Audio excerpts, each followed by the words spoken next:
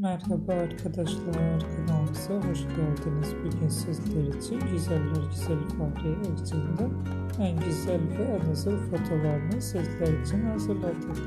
Fahriye Evcen ve Burak Özçivit çifti Çalmışı dizisinde birbirlerini sevmiş ve evlenmişler.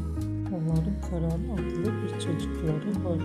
Biz de sizler için Evcen ve Burak Özçivit'in en güzel ve en özel karelerini hazırladık.